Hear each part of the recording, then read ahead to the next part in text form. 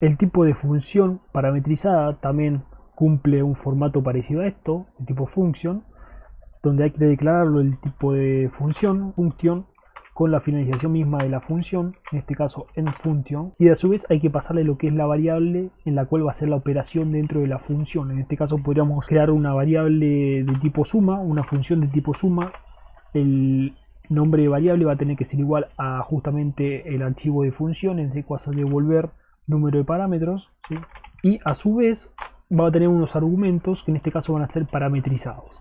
Trabajamos en la clase anterior con tipo de funciones no parametrizadas, fíjate, que el argumento es vacío y en este caso el argumento no va a ser vacío. Podemos pasarle dos tipos de variables, x e y por ejemplo, en las cuales dentro de la función va a realizarse un tipo de operación y en este caso va a ser la operación suma.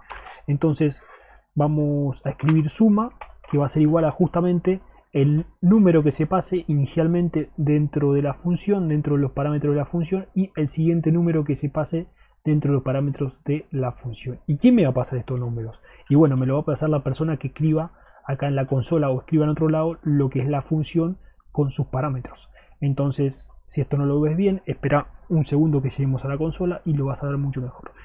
Eh, entonces la suma va a ser igual a x más y y un punto y coma. En este caso para que no se le muestre la operación.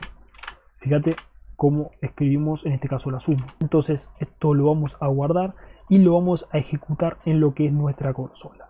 Para ejecutarlo escribimos el nombre de nuestra función y entre paréntesis vamos a tener que pasar lo que son los diferentes argumentos que pide la función. En este caso pide dos argumentos, dos números ¿sí? o dos cosas. Pero si es una suma, deberían ser dos números. Podríamos escribir, por ejemplo, el número 2 y el número 3 y lo que va a hacer es justamente tomar estos dos argumentos pasados a través de la consola y los va a sumar, como dice acá en pantalla. Toma el primero, el 2 y lo suma con el segundo que corresponde al 3 pasado acá en la consola.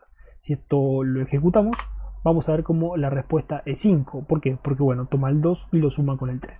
Si nuevamente ejecutamos la función y pasamos por ejemplo el número 30, vas a ver cómo el resultado es 32. Si ejecutamos nuevamente y pasamos por ejemplo el número que vos quieras, vas a ver cómo la función se sigue ejecutando. ¿sí?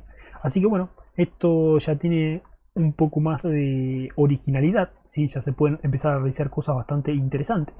En este caso estamos haciendo una operación solamente de suma. Imagínate que sea recta, pasaría exactamente lo mismo. Esto lo guardamos y realizamos lo mismo. Vas a ver que en vez de realizamos lo mismo, bueno, en este caso no funcionó. Vamos a guardar nuestro script, lo ejecutamos y llamamos nuevamente al script y vas a ver como en este caso en vez de sumarse se restó. Así que nuestro script funcionaría de la misma forma si pasamos 2 y 3, por ejemplo, nos da menos 1 en vez de que nos dé 5 al inicio.